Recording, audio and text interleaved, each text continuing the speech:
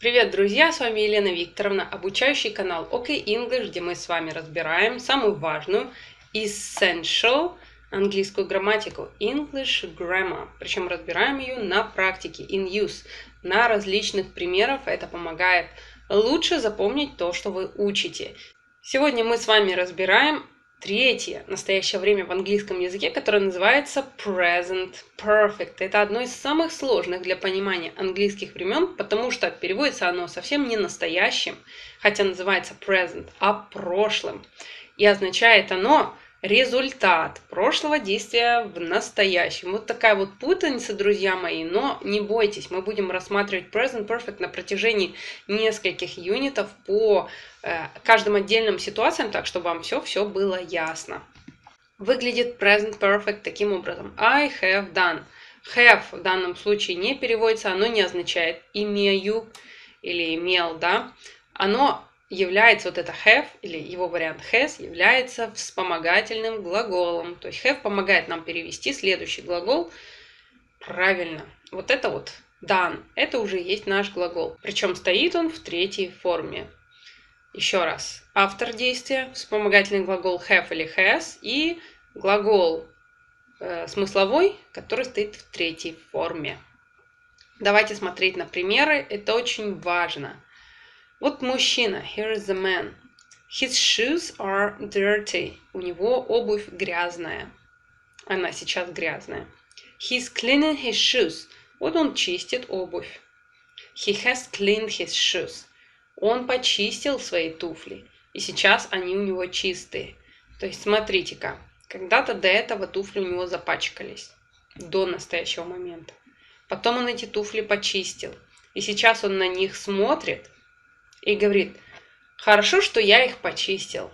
I have cleaned my shoes. Или he has cleaned his shoes. Он почистил свои туфли.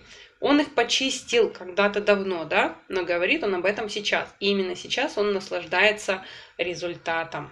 Видит э, своими глазами этот результат. He has cleaned. Это present perfect. Переводится как он почистил. В русском языке есть такое понятие, как глаголы совершенного вида или несовершенного вида. Да? Я чищу – это несовершенное действие. Я почистила – это уже глагол завершенного вида. Сейчас оно сделано, уже есть результат. Это и есть наш present perfect. То есть на русский язык удобно переводить его прошлым, по смыслу для англоговорящих людей он означает настоящее, то есть действие, которое сейчас настоящим имеет результат. Мы об этом будем дальше очень подробно говорить, а пока давайте смотреть второй пример. They are at home. Вот они сидят дома.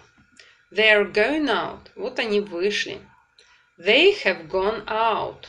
Они ушли. То есть сейчас их дома нет. Почему? Потому что до этого совершилось какое-то действие. They have gone out. Мы видим своими глазами, у нас есть очевидный результат прошлого действия, и есть он сейчас. Давайте поговорим о технических моментах. Пока маленькую порцию смысла я вам дала, да, мы концентрируемся на результате какого-то действия и как это выглядит мы используем have или has, как я вам уже говорила, и используем глагол в третьей форме. Например, has cleaned и have gone, то, что нам с вами попалось уже. Has cleaned, почистил. Have gone, ушли. Это и есть наш present perfect. Я думаю, друзья мои, вы вспомнили форму э, I have got, которую мы с вами уже использовали – и переводили ее как «у меня есть». И я вам тогда, если я правильно помню, говорила о том, что грамматически это present perfect. I have got дословно переводится как «я получил это когда-то ранее, и теперь оно у меня есть». Мы именно так и переводим. У меня это есть. I've got. Вот то же самое здесь. Просто не так э, удобно переводить эту форму настоящим, в отличие от have got. Ну, давайте-ка еще раз. I have можно сократить и сказать I've. Можно сказать I have cleaned, я почистил. Можно сказать I've cleaned. We have finished или we've finished, мы закончили. Отрицательная форма, если нам нужна, то сокращаем ее по нашим привычным правилам. You have not started. Ты еще не начал. You haven't started. Полная форма употребляется редко, нам нужно сокращение. They have not lost. Они не, тери, не потеряли. They haven't lost. Они не потеряли. He, she, it используем слово has. Правила нам уже опять же знакомы, ничего нового для вас тут нет.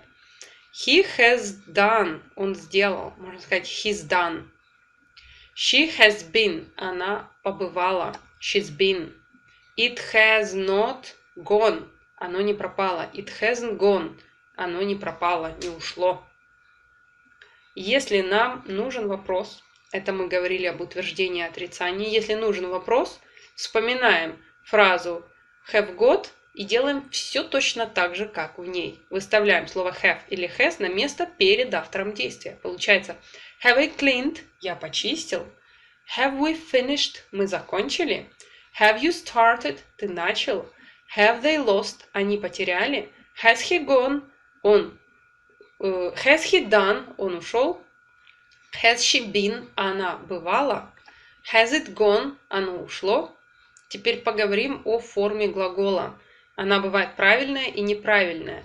Я вам э, в Unity, который касается времени past simple, говорила о том, что очень важно учить не только вторую неправильную форму глагола, но и третью. Как видите, всего лишь прошло не больше пяти юнитов, и нам третья форма глагола пригодилась. Она есть в любой таблице неправильных глаголов, и она не совпадает со второй формой глагола. То есть иногда бывают глаголы, когда там совпадает вторая, третья форма. Бывает совпадают все три формы. А бывает третья форма не совпадает. Правил, по которым она образовывается, если это глагол неправильный, можно сказать нет – их э, в современном английском языке не существует, поэтому такие глаголы нужно запоминать. Ну, давайте посмотрим. Clean, начинаю, cleaned, начал. Тут все просто. Вот если глагол правильный, то вторая, третья форма абсолютно одинаково образовывается с помощью окончания ed. Ну вот, например, глагол lose, терять, lost, lost, вторая, третья форма сходится. Done – это третья форма от do. Do – вторая did, третья done. Been – это третья форма от be. Be was were been.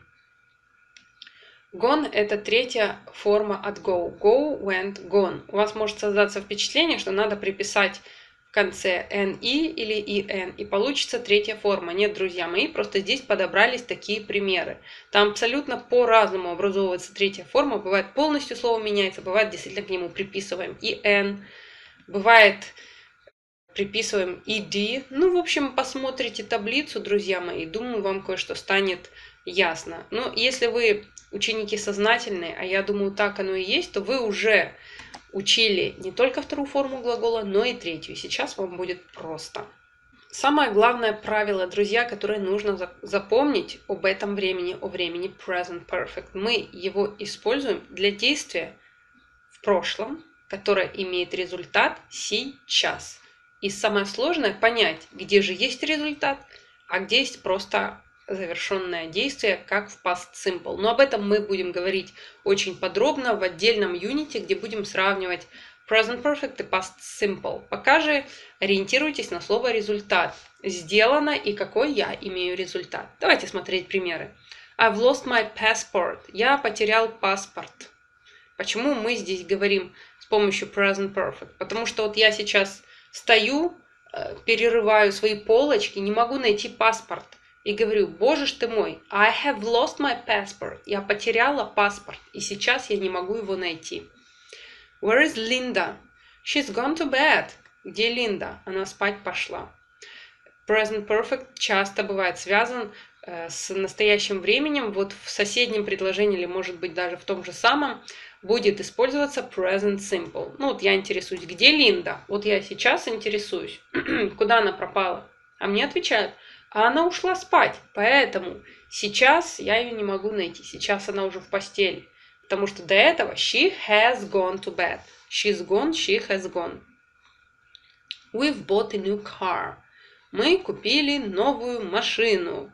Мы рассказываем друзьям, хвастаемся и говорим, смотрите, вот она какая красивая, красная там или серебристая, мы ее купили только что, вы в бот, мы это сделали. Теперь у нас есть новая красивая машина. It's Rachel's birthday tomorrow. and I haven't bought her a present.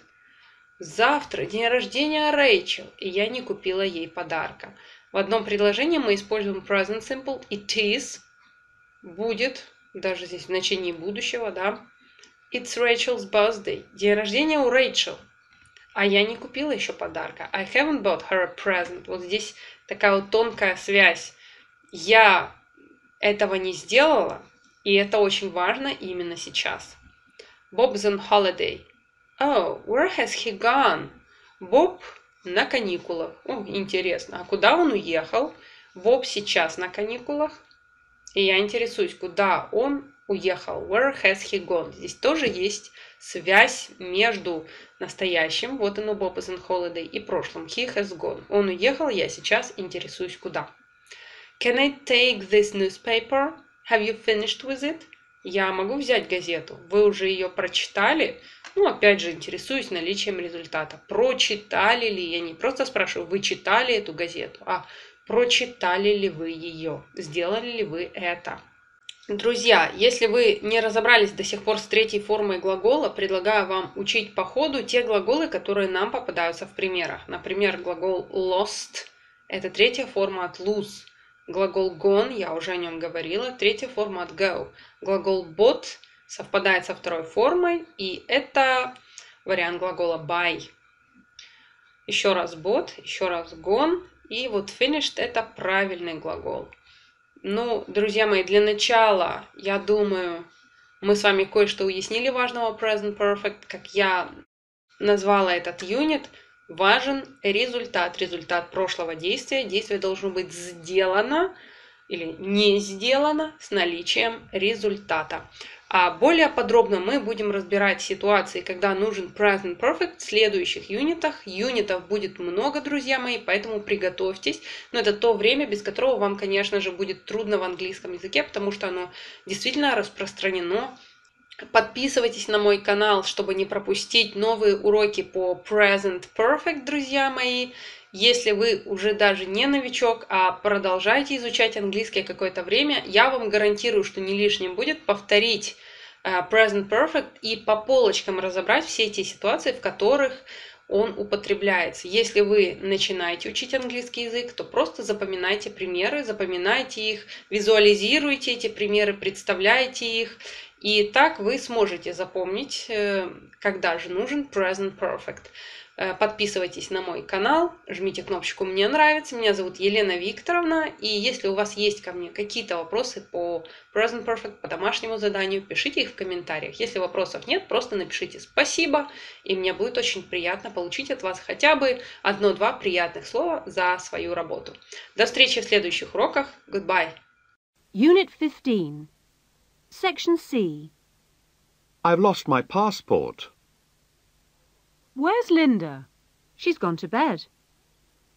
We've bought a new car. It's Rachel's birthday tomorrow, and I haven't bought her a present. Bob is on holiday. Oh? Where's he gone? Can I take this newspaper? Have you finished with it?